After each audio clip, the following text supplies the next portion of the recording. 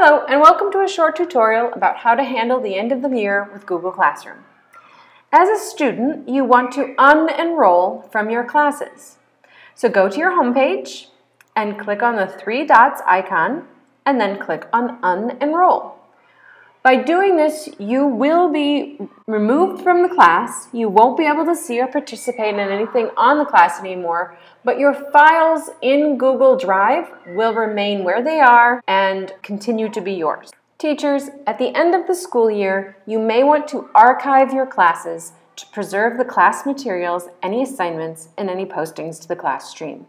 You can still access any class files in Google Drive, but the archived classes are moved to a separate area to help you keep your current classes organized. An archived class can be viewed by you and the students in the class. However, when it is archived, you cannot edit or add anything to the class until you restore it.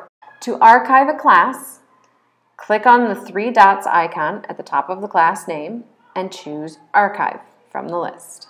Then click on Archive on the pop-up that appears. To access archived classes, click on the three bars icon at the top left of the screen and go to the bottom of the list to archived classes and you will find your class. Any questions, feel free to email me or stop by my office. Thank you for watching.